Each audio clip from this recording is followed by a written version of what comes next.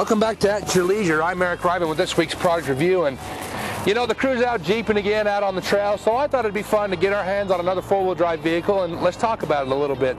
What we have here today is the 2008 Ford Explorer Sport Trac. And the nice thing about this Explorer Sport Trac is it's for those people who like trucks, like SUVs, they like to go camping, but they don't have anything real big to haul, real big to tow. They don't need as large a vehicle. So what Ford has done is taken that idea and put those things together and come up with this vehicle. Now while we're out here taking a look, as you can see this is a four-door and that makes it nice for the moderate sized families. You've got your back seat here for the kids. There's a little bit of storage back here. And you also have the front seats for the parents and where you drive, obviously, which is really nice. Now, one great thing about this vehicle is it comes with some motor options. Now, for those of you who don't need it for towing, who don't necessarily need a lot of power, but are really concerned about fuel mileage, they offer a V6 version which gives you enough power to get around town and do those things you need to do, but doesn't guzzle the gas. And also, they offer a V8 option. Now, the V8 is good for those who want to pull a small boat or a couple SUVs or a small RV trailer or tent trailer. Now, we've talked about a lot of the SUV features of this vehicle. Now, this Explorer is also part truck, and let's talk about the truck aspects. As you can see, it does have a bed like a truck would have. And while we're back here, you can see that it has a Class 3 towing package with the wiring uh, plug in and the receiver. So you can, that way you can tow a small boat, a couple SUVs, a small RV trailer, maybe a tent trailer. So that gives you the outdoor aspect of this vehicle.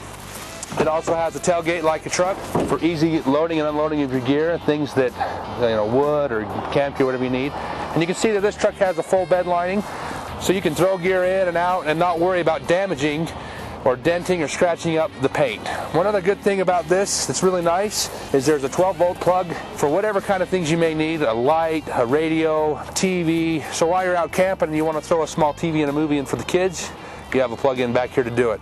Kind of like an outdoor theater, it sounds great. And also you have some small storage compartments in the bed here for tie-down straps and things of that nature. Now these are not waterproof, so you wouldn't want to put anything in there that could possibly get damaged by water. You also have tie down points in here, so if you do have a taller load that you need to tie down, you do have some great places to lock them down.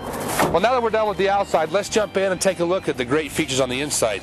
And check this out, you have keyed entry and keyless entry by combination. So say you forget your keys, but you gotta go out and grab something out of the truck real quick, you can throw the combo in and get in real fast.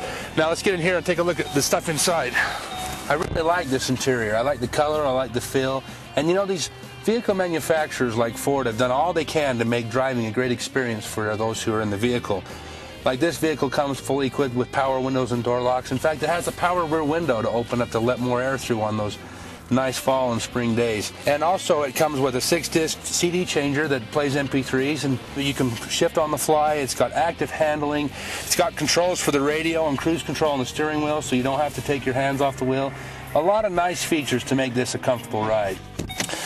I've had a lot of fun testing out this vehicle with you today and I appreciate you coming.